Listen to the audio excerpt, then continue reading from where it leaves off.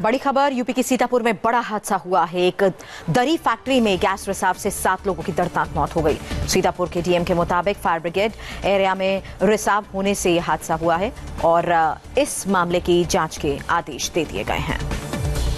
फ़िलहाल इस वक्त ये दर्दनाक खबर आ रही है यूपी के सीतापुर में, जहाँ गैस रिसाव से सात लोगों की मौत हो गई है। हालाँकि यूपी सरकार ने इस पूरे मामले पर कार्रवाई के आदेश दिए हैं। दरी फैक्ट्री में गैस रिसाव से सात लोगों की जान चली गई। जल्द वापस लौटेंगे। ब्रेक के बाद देखिए